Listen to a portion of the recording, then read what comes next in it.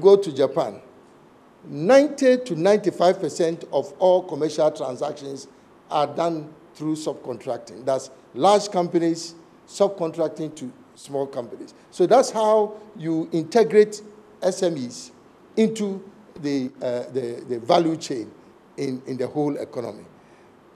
Uh, KFC, those of you who like KFC, you know that KFC literally has to import every single piece of chicken into this country.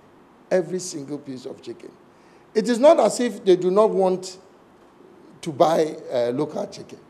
But unless you develop the capacity to supply in terms of consistency of supply and the quality, consistency of quality, as the Americans will say, it ain't going to happen. It's not going to uh, predicate the, the success of his company just on the platform of we want local participation.